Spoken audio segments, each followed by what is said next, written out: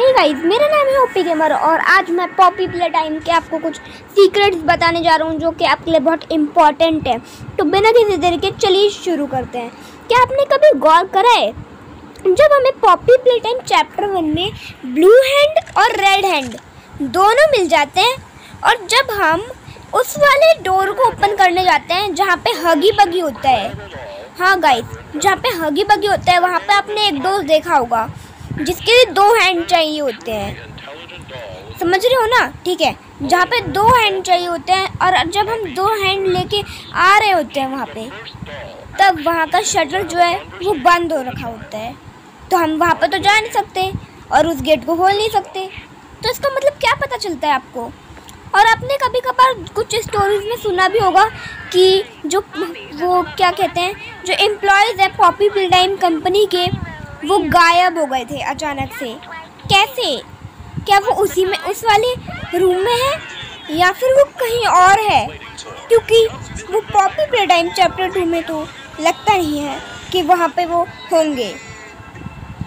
तो जैसे कि आपको Poppy Playtime chapter two में भी दिखाया गया है कि वन ज़ीरो ज़ीरो सिक्स एक रोबोट की वन ज़ीरो ज़ीरो सिक्स में कुछ, जब कुछ लोग एक्सपेक्टेटर मोड ऑन करके उसे देखने जाते हैं तो उसमें इंसानी हड्डियाँ पाई गई है।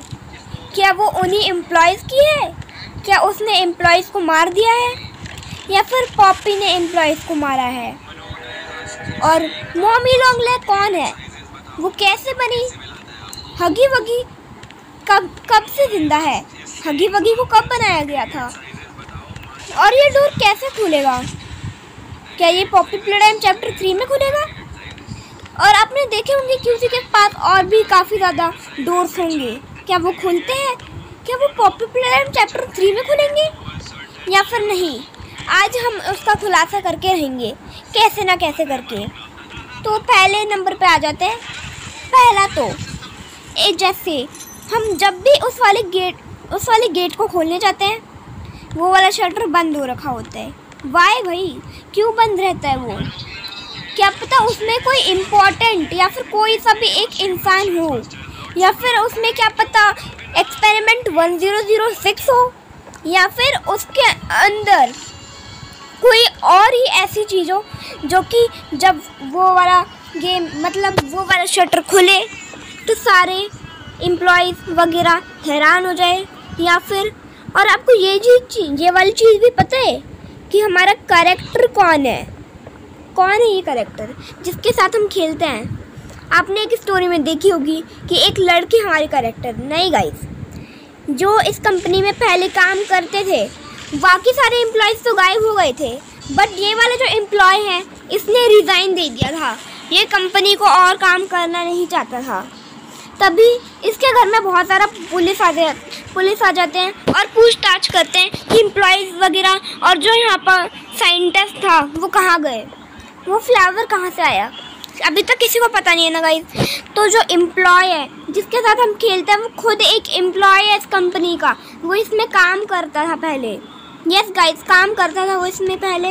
वो ऐसे ही देखने के लिए आ गया था पुलिस की बाद में। तो उसने आके देखा कि पूरी कंपनी ख़राब हो गई है। तो वो थोड़ा सा एक्सप्लोर करने लग गया इस कंपनी को। है ना गाइड और आपने एक और भी चीज़ इग्नो वो देखी होगी, जब हगी बगी होता है पीसी वाले वर्जन में नोट करी होगी हगी बगी के पीछे भी एक गेट होता है। आपको पता है?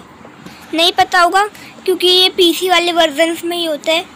है ना गाइज़ अभी आपकी स्क्रीन पे चल रहा है, आप देखिए ज़रा।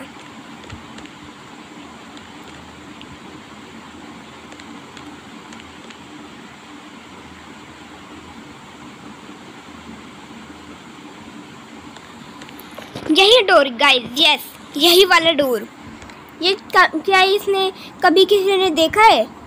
इसमें वो वाला ब्लू हैंड क्यों नहीं आता? इसमें इंसान है या फिर उसमें? सच में गाइस अब तक किसी को भी नहीं पता ये। और जो पॉपी है, उसे क्यों बनाया गया? और ये देख सकते हो गाइस ये वाला डोर आपने कभी देखा है? इसमें स्टेयर्स क्यों बने यार? क्यों भाई?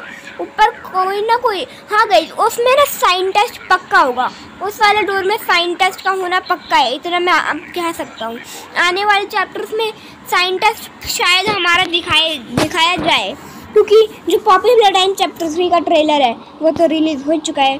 अब बस गेम आ जाए, आप सबको पता चल जाएगा कि वो डोर खुलेगा या फिर नहीं। और आपने कहीं एक और चीज़ नोटिस करी है नहीं करी होगी ना। ये भी चीज़ नोटिस नहीं करी होगी हंड्रेड परसेंट श्योर जो मशीन्स है, जब पॉपी वो जो हगी बगी है, वो 1984 में रिलीज़ हुआ था। तब काफ़ी ज़्यादा इतनी ज़्यादा मशीन्स नहीं थी। इतनी ज़्यादा हमारी जो वो, जो भी दुनिया है ये वाली, उसके अंदर इतनी ज़्यादा इम्प्रूवमेंट नहीं थी कि वो इतनी सारा, इतनी ऑटोमेटिक मशीन बना पाए। और आपने इस वाली मशीन को देखा होगा। जो आपकी स्क्रीन पे साइड वाली मशीन है वो हमें घूरती है। ये सारे टॉयज में खून निकलता है, क्योंकि असली में ये खुद इंसानों से बनता है। यस गाइस अब जितनी भी अभी मशीन देख रहे हो, ये सारी इंसान से बनाई गई है। क्योंकि तब इतनी इम्प्रूवमेंट नहीं थी, जहाँ तक देखा जाए तो। और ये वाली मशीन हमें क्यों घूरती है भाई ये? अभी देखो, अभी ये घूरेगी हमें, देखो। मैं अभी कुछ नहीं बोलूँगा।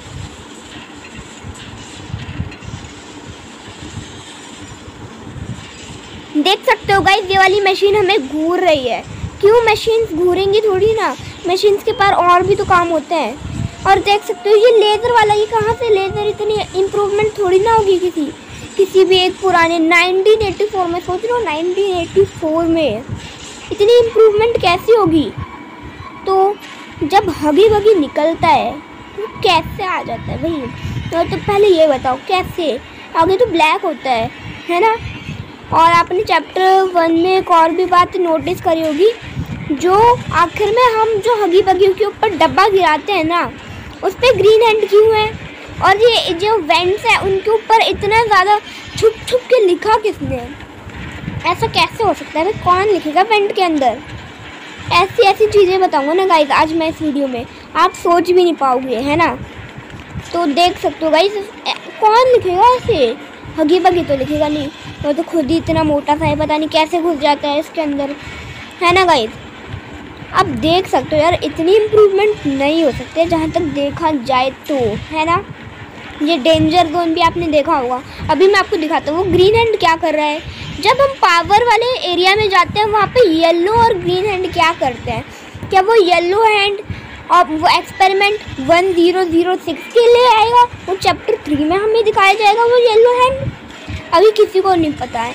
आप जैसे देख सकते हो, डब्बे में ग्रीन हैंड बनाए जब हम डब्बे को गिरा देते हैं, वो सारे हैंड गायब हो जाते हैं। क्यों? वाई भाई? और ये वो एकदम जो कंपनी के अंदर इतना बड़ा इतना बड़ा घर किसने बनाया है? अभी तक ये किसी को नहीं पता है। पॉपी को केज के अंदर किसने बंद करा? नहीं पता? यस गाइस किसी को नहीं पता है अभी तक ये। और आपने एक और बात नोटिस करी होगी, पॉपी प्लेटाइम चैप्टर वन में यहाँ पे अलमारी लगी हुई है। जो डोर से हम पॉपी प्लेटाइम चैप्टर टू में जाते हैं, यहाँ पे अलमारी लगी हुई है। यस गाइस यहाँ पे अलमारी रखी हुई है। यस अब आप भी सोचो यार इसमें कितने ज़्यादा सीक्रेट छुपे हुए हैं। तो गाइस वैसे आपको ये वीडियो कैसी कैसी लगी, मुझे कमेंट्स में बताओ। और इस वीडियो के लिए आप एक लाइक ज़रूर से ठोक देना। बहुत ज़्यादा मुश्किल लगी है मुझे इन सीक्रेट्स को ढूँढने में। और अब बताना कि हमारे एम्प्लॉयज़ कहाँ पे है। तो मिलते हैं किसी न्यू वीडियो के साथ न्यू टॉपिक के साथ। तब तक के लिए गाइस बाय बाय